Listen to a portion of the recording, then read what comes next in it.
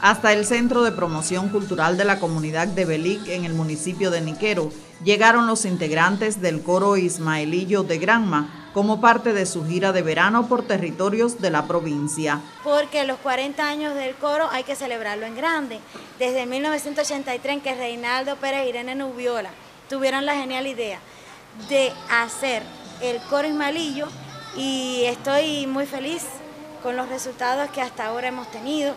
Por el coro han pasado muchos niños que por supuesto han crecido, hoy son artistas, el coro transmite muchos valores, eh, da mucha alegría donde quiera que se presente y por eso es que continuamos con este trabajo que verdaderamente requiere de bastante esfuerzo. Durante el concierto para los habitantes de esta comunidad costera, compartieron escenario con el taller de creación infantil Atrapasueños de reciente creación con la misión de llevar el arte a los hogares.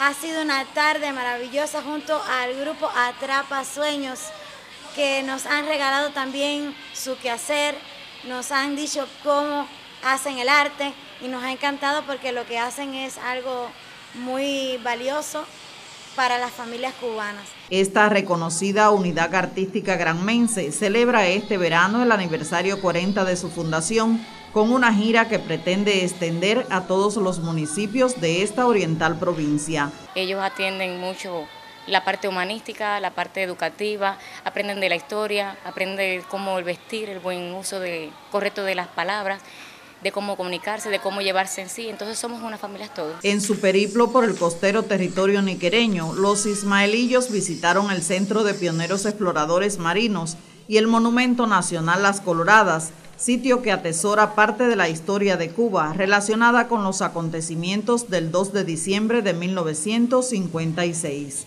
Madeleine Toledo, Sistema Informativo de la Televisión.